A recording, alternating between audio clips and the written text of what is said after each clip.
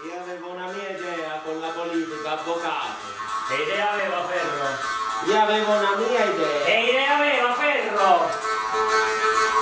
Quando successe la questione di Firenze, ti era parlato di nuovo di mettere il boom a Bologna. Ah, Me ne parlò Bacarella e disse abbiamo bisogno di un appoggio a Bologna. Io avevo un fratello di mio cognato a Bologna, un contadino, che disse ci può essere d'appoggio. Ma io sta cosa. E basta con sto Maranzano! Ma io sta cosa. Quando ci sono delle cose nella mafia, uno quello che pensa, la va a dire. Chiedo che può sapere. Ci dissi, vedi che io sta cosa non la avvio. Perché fino a che no oggi ammazziamo i magistrati, i carabinieri, i poliziotti. È una cosa. E ti ammazzano a noi con l'ergastolo. E un discorso lo gestiamo. Ma quando succedono queste cose, che morono gente civile, non lo può vedere manco Cristo. Non ne può vedere più, manco Padre Eterno. Ne può vedere più. Io non la vivo sta cosa. Io vedo un altro tipo di discorso. E siccome non siamo a mare questo discorso, questi quattro disonesti dei pentiti, come a fare? Ora c'è magari quest'altro, Cancelli, eppure Chito, la Barbera. Noi dobbiamo fare una cosa. Siccome c'è la legge Cozzini, la legge Cozzini, facendo un giusto comportamento ai carcerati, noi sta politica la facciamo. Di fare 5 anni, ave 10 anni che la nostra gente su un galera. Noi dobbiamo fare una cosa.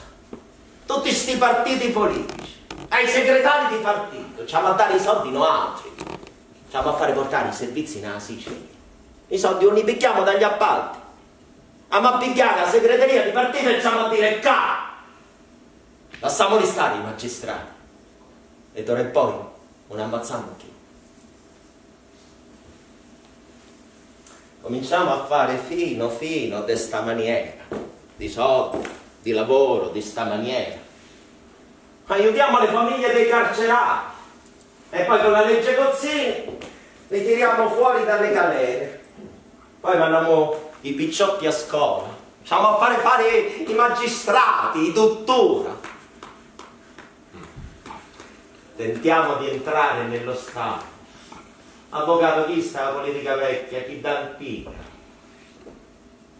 E c'era pure Matteo Messina Denaro quando dissi sta cosa. Ci dissi, vedi che io sta cosa non la vi. Io vi ho sta cosa, perché via di Spocco ne vio. Non mi interessava mia di Firenze, niente mi interessava. Di mettere il boom. E la cosa lì si fermò. Poi ne parlammo ancora con Matteo di questa cosa, penso che Iddo ne avesse parlato con suo padre. E disse, super, sa cosa penso? Che la viria sta cosa. Avvocato, io sta cosa la viria, la politica così, la viria.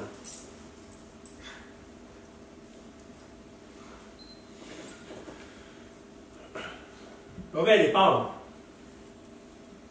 Lo sanno benissimo che le cose sono cambiate, ma stanno a guardare. Tu lo sai che io non ho mai cercato esclusivamente le responsabilità politiche, ma oggi la situazione è fin troppo evidente.